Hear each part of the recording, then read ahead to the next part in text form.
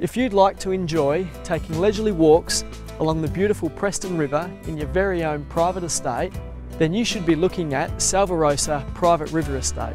Call me, Keaton Standley at Barr and Standley Real Estate.